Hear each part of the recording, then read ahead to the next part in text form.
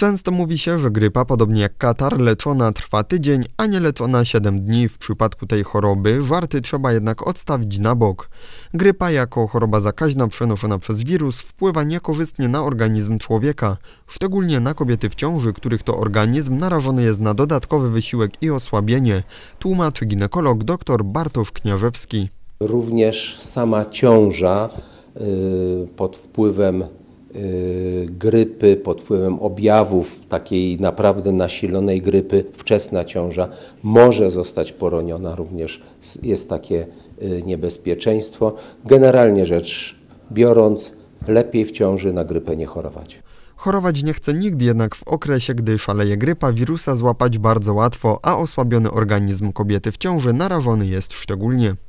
Jeszcze tylko wspomnę, że to nie jest tak, że kto zachoruje na grypę, ten poroni. Na, na pewno nie, ale są opisywane takie przypadki w związku y, z infekcją, z gorączką, z osłabieniem organizmu itd. itd. Przypomnijmy, że możliwe powikłania po grypie to np. zapalenie płuc, zapalenie opon mózgowych czy problemy z sercem. Zdaniem doktora Kniarzewskiego najlepszym sposobem na walkę z grypą jest szczepionka.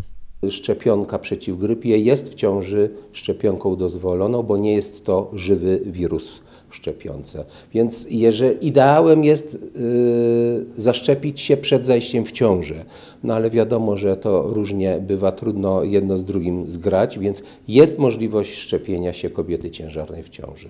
Ciąży, która jest szczególnym czasem dla organizmu każdej kobiety.